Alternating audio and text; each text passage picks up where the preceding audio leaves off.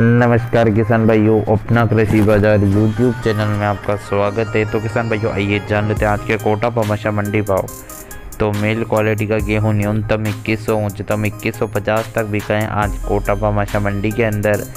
और एवरेज भाव गेहूँ का न्यूनतम इक्कीस सौ इक्यावन, उच्चतम बाईस सौ इकतीस तक आज एवरेज भाव रहा। और बढ़िया गेहूँ न्यूनतम बाईस सौ इकतीस, उच्चतम बाईस सौ इक्यासी तक।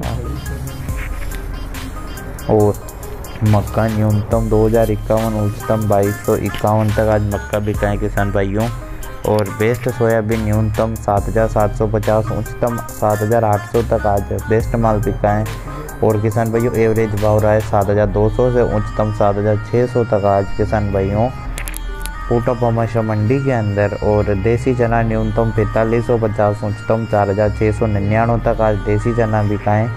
कोटा पमाशा मंडी के अंदर और काटिया चना न्यूनतम चार हज़ार उच्चतम चार हज़ार और पाँच सौ पचास तक आज काटिया चना बिकाएँ डंकी माल चने का न्यूनतम तीन हज़ार नौ सौ उच्चतम चार हज़ार चार सौ पचास तक आज डंकी माल बिका है सरसों का न्यूनतम छः हज़ार चार सौ उच्चतम छः हज़ार छः सौ अट्ठावन तक अट्ठावन तक आज चना बिका है एवरेज भाव न्यूनतम छः हज़ार तीन सौ उच्चतम छः हज़ार चार सौ पचास तक आज सरसों का एवरेज भाव रहा है। ज्वार न्यूनतम सत्रह सौ, उच्चतम उन्नीस सौ पचास तक। आज ज्वार भी कहें किसान भाइयों।